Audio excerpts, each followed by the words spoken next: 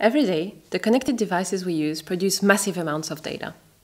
Estimations actually say we produce more than 2.5 billion gigabytes every single day.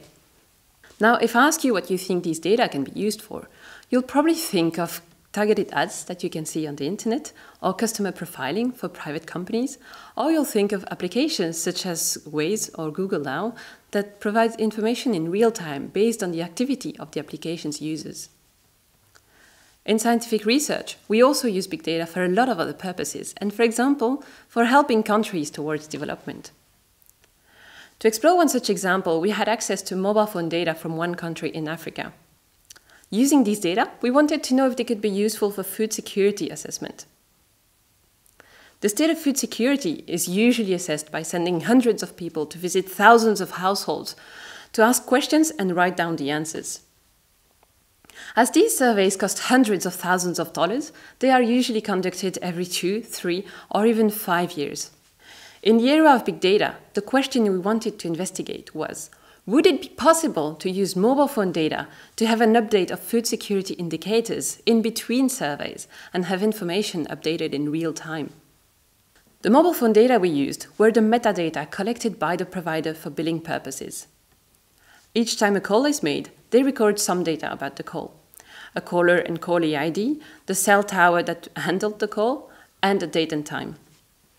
In addition to that, we also had access to the history of mobile phone expenses. From these, we extracted for each region of the country a series of indicators of mobile phone activity that we compared with indicators of food security contained in a survey conducted by the World Food Programme at the same period of time. What we've discovered is that mobile phone expenses can be a good proxy for estimating the consumption of several types of food, but not all of them. The types of food whose consumption can be estimated using mobile phone data are the ones that are commonly bought on the market in these regions and not cultivated for local consumption.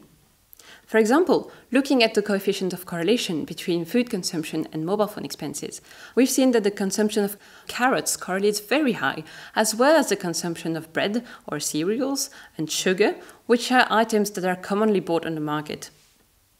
On the other hand, consumption of maize or cassava, which are broadly cultivated items, were not linked to any mobile phone indicator.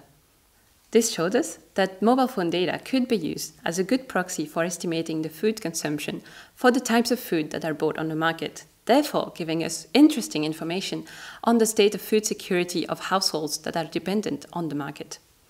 This was one example of use of data for development, but there are a lot more others being explored by researchers, for example, in the fields of epidemic spreading or natural disasters response, so that in the future it will be possible to save lives using information extracted from big data.